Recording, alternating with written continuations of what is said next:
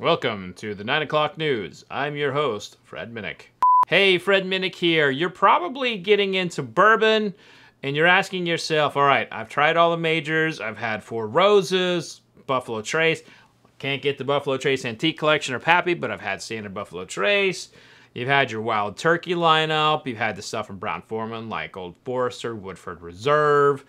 Uh, and maybe you even dipped your toe out into a little bit of MGP. You've had the entire Heaven Hill lineup within reason. You know, probably a little harder to get uh, Henry McKenna these days.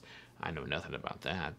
Uh, and then, you know, you're kind of like, now what? You know, I've been tasting all these different things, and um, now uh, I want to taste something else. Well, I have five bourbons on my table right now I think should be up next for you.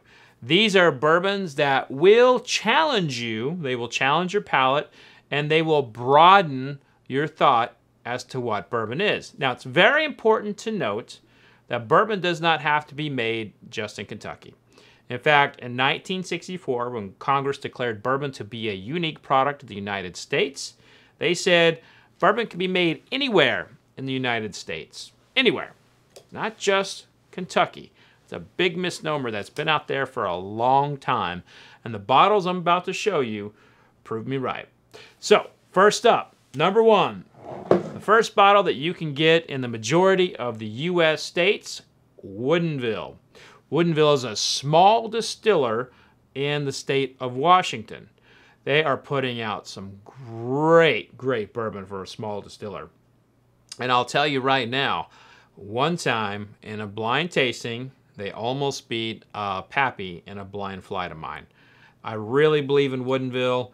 Uh, they've done great work. They were mentored by the late, great Dave Pickerell. Uh, and you can find this in most markets. They're 90 proof standard product for under 40 bucks. You might have to spend 50 depending on your taxes. It's always about how much are your taxes. Do you know how much your sales tax are for bourbon? Put it in the comment section if you do know. You might be surprised when you look it up. So, Woodinville, pick number one for you. Pick number two, Penelope is doing some great work. They're putting out a lot of cask strength products. This is their four grain. I recommend taking a gander at anything that they're putting out just because they're pushing the boundaries of some flavor profiles that I think are that next evolution in bourbon. So right now, today, a lot of people are kind of on the fence about products like Penelope, but I think what Penelope is doing is a possible evolution in the flavor profile of bourbon. Bourbon is no longer that standard caramel bomb forward uh, Kentucky bourbon style. It's got grains in it. It's got nuance. It's got herbs. There's all these different flavors that you can find in bourbon that 20, 30 years ago you did not find. And Penelope is pushing those boundaries.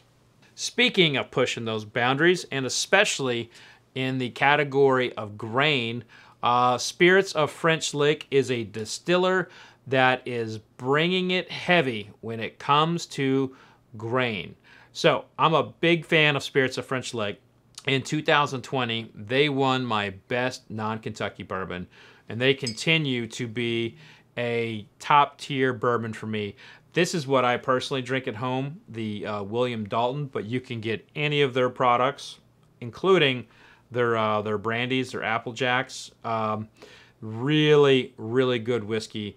The distiller there, Alan Bishop, to me, is one of the best distillers in the country he's the kind of guy that if the uh, the world's about to end and you have to choose someone to go with you to make uh, to make booze, Alan Bishop is who I'm picking in the in the survival mode because he will definitely he would definitely know how to make uh, booze out of a probably out of a out of a gourd and uh, using like a, some kind of stick, uh, a, a hollow stick as a worm. So yeah, this uh, what they're doing at Spirits of French Lick is nothing short of amazing, and they should be on everybody's uh, on everybody's bar. Now, again, this whole list is not a list of tradition. It's a list of uh, bourbons that will push the boundaries for you, will help you understand bourbon in a way that's outside of tradition, And these are coming from all over the country. Next up is Cedar Ridge. Cedar Ridge is a distillery in Iowa. They're making great bourbon there. They're most known for their um, their collaboration with Slipknot. Uh, however, this is a barrel pick that I did that sold out pretty quickly on Seelbach's, and I just ta- I tasted through a wide range of their barrels, and I know those barrels are getting put to use um, in other barrel picks. So if you can find like a Cedar Ridge barrel pick, get it, get it, get it, get it, get it, because these barrels are excellent. Now, their standard product that's on the shelf I'm a little less inclined to say jump for it because it's lower in proof. Uh, I think their expression at cask strength is way better uh, than some of their lower proof options. But still, it's probably worth the flyer for you to have a kind of in that same vein as maybe like a Makers or a uh, a Jim Beam. But uh, if you see the cask strength or a barrel pick from Cedar Ridge, that's money. Pick it up. And tell you what, put in a blind tasting. You might be surprised how it will do.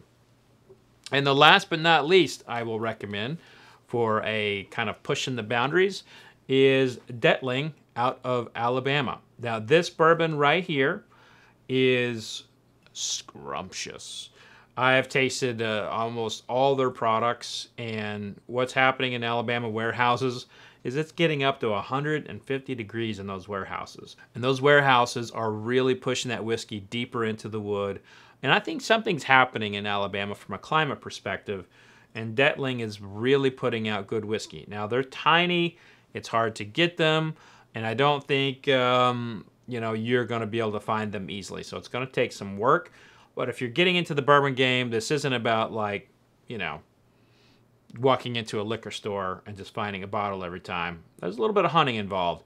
But my hope, the whole point of this list and my challenge to you is don't make that hunting all about those crazy allocated products out there. Expand your horizon, expand your palate, taste more than just Buffalo Trace and some of those standard uh, great distillers we have in Kentucky. Push your palate, taste some other things. And these are five bourbons that will get your palate and you know in the right direction to find new flavor profiles that are out there in the world of bourbon. That's going to do it for this list. Hey, thank you for tuning in. Please click that subscribe button if you'd like to have watched this live, like the members here. Click the join button. You can see it live. I do all my all my uh, uh, recordings live with my members. Uh, and then, of course, hit the like button. But that's going to do it for this list. Be safe out there. Remember, vodka sucks unless it's being used for hand sanitizer. Cheers, everybody.